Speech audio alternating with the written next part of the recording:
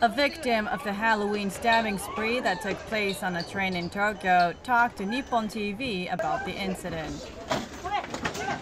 冷静にというかですね、まあ、淡々とナイフを揺すらせながら、えー、歩いてきて、はい、追い詰めたっていうようなあの雰囲気は感じ取れましたね。私か主人かどちらかがあの刺されてしまうんじゃないかという恐怖。17 passengers sustained injuries after the suspect, Hattori Kyota, went on a stabbing spree and started a fire on the train. One passenger remains to be in a critical condition and unconscious after he was stabbed in the chest. 談合状態になっている乗客の方に向けて液体を振りまいた。